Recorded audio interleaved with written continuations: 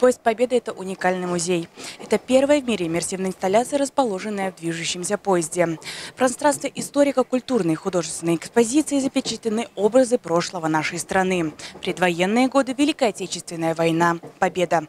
Атмосфера просто незабываемая. Проект представляет собой интерактивную экспозицию, посвященную подвигу советского народа в годы Великой Отечественной войны. В составе поезда 10 тематических вагонов, которые посетители выставки проходят вместе с аудиогидом Лидией. Голос девушки в наушниках – это собирательный образ поколений. Ее судьба – это судьба всех тех, кто прошел тяготы и ужас, который несет с собой война. Лидия делится воспоминаниями, семейной историей, опытом преодоления страхов и лишений, радостью победы. В 1941-м ей 19. Она прошла по стопам отца и стала машинистом паровоза. Экспозиция позволяет пройти путь от Гомеля до Москвы, от Сталинграда до Берлина и увидеть Великую Отечественную войну глазами свидетелей тех страшных и героических событий, наших мужественных предков. Идея появилась а, создать музей, который смогли бы увидеть люди а, не только в центральных и больших городах, но и в самых а, маленьких населенных пунктах, до которых современный музей едва ли дойдет. И поэтому была разработана концепция э, такой машины времени в составе э, РЖД поезда, да, где человек, попадая от самого начала, э, от довоенного времени в Советском Союзе, перемещается сквозь время при помощи главной героини, художественный нарратив заложен здесь в аудиогиде, и доходит с ней до возвращения домой, до 45 -го года.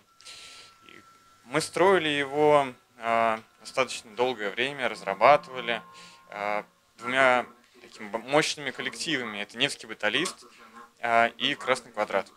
Я доволен результатом, который получился, и приглашаю посетить поезд Победы, пока он здесь, в Бресте. На открытии экспозиции в Бресте присутствовали почетные гости, руководители города и первого региона, а также представители дипломатических миссий. Мы рады приветствовать вас на гостеприимной Брестской земле, в первом регионе нашей страны. Прежде всего хочу поблагодарить именно организаторов проекта за то, что дан старт именно у стен Брестской крепости этого проекта. Потому что каждый третий белорус погиб в этой страшной войне. Каждую семью, белорусскую семью, затронула Великая Отечественная война. Мы показали всему миру, что Брестская крепость – это прежде всего мужество, стойкость и настоящий героизм. Создателям проекта «Поезда Победы» лично вам хочу сказать слова благодарности за то, что вы позволили каждому из нас окунуться в нашу настоящую историю. Мы ценим мир и мирное небо над головой. Поэтому хочу пожелать каждому из нас мира, добра, любви к своей родине. Кто не помнит прошлого, у того нет будущего. И мы не дадим переписать нашу правду истории. Добрый путь, поезд Победы! Разрешите поприветствовать вас на нашей гостеприимной и героической Брестской земле. Действительно, сегодня старт поезда Победы дают у Брестской крепости. Для нас это очень дорого и символично, потому что мы знаем цену этой победы. И сегодня эта возможность прикоснуться к истории, которую пытаются многие изменить, наверное, дают нам силу уверенности в том, что мы идем в правильном пути. Мы не делим на национальности. Брест сегодня многонациональный город, поэтому мы всегда рады всем в этом городе. И в первую очередь хочется сказать, чтобы наша молодежь помнила и ценила, потому что мы являемся наследниками Великой Победы.